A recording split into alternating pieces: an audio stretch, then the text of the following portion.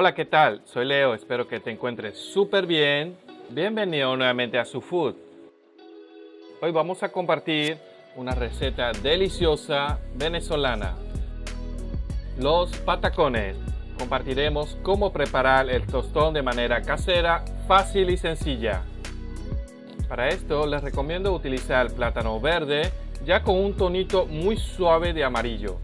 Y esta vez lo vamos a rellenar con queso de mano, personalmente lo más recomendado, tomate, aguacate, huevos y de salsa tenemos salsa de tomate y mayonesa.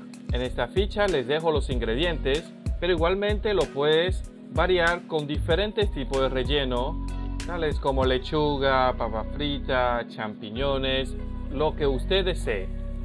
Lo primero que vamos a hacer es pelarlo y en esta oportunidad lo vamos a cortar a la mitad para que con un plátano podamos hacer el patacón. Entonces les recomiendo utilizar plátanos bien largos y preferiblemente con un tono amarillo suavecito. Vamos a preparar una olla con aceite y lo vamos a comenzar a freír a fuego bajo. Mantenemos que tenga burbujitas, que esté friendo hasta que se vuelva levemente doradito. La idea es que ya este punto esté lo más cocido posible y el calor haya penetrado hasta el medio.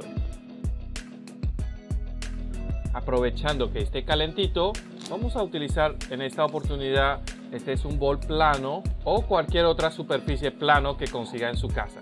Le hacemos presión hasta aplastarlo, preferiblemente no utilizar platos de cerámica porque se pueden quebrar por el calor y la presión. Si el plátano está bien caliente y ya está más o menos cocido, entonces será muy fácil aplastarlo y que no se rompa.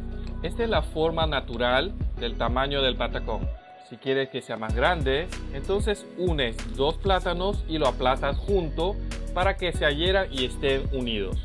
Aunque personalmente para mí ya esto es porción para una persona bien aquí observamos antes de aplastarlo y después. Lo colocamos de nuevo en el aceite. Esta vez sí lo vamos a freír hasta que esté bien tostadito, listo para servir. El grosor del tostón depende del gusto de cada quien. Para mí es mejor tener cierto grosor para sentir lo crujiente de afuera más lo dulce y suave de adentro. Igualmente no quemarlo mucho porque no es necesario que esté bien tostadito café para que esté bien crujiente. Así doradito ya queda muy crujiente y muy delicioso. Y para armarlo hay mil formas de hacerlo, así como las hamburguesas. En esta oportunidad vamos a colocar queso de mano, aguacate, tomate, huevos y la salsa de su preferencia. En esta oportunidad, salsa de tomate y mayonesa. La mostaza también es una buena opción. Y listo, tenemos nuestros patacones vegetarianos para servir. De verdad les recomiendo 100%, está súper delicioso. De vez en cuando cambiar el menú del día, en vez de hamburguesa que son con panes, preparas patacones y le agregas todos los ingredientes que tú quieras y tendrás una experiencia muy deliciosa. Y bien, esto ha sido todo por hoy.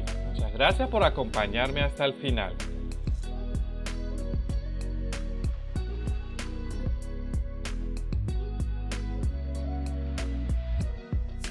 Si te gustó este video, te invito a suscribirte. Activa la campanita para que no te pierdas de ningún video nuevo. Dale like, deja un comentario aquí abajo de qué tal te pareció comparte con tus familiares y amigos y nos vemos para la próxima. Chao, chao.